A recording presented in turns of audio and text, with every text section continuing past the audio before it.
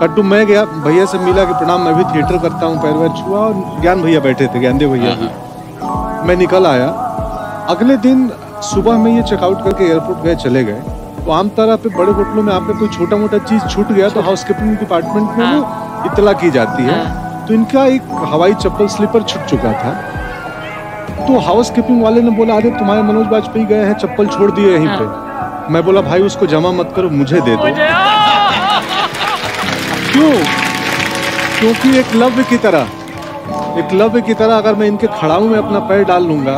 हाय हाय हाय हाय।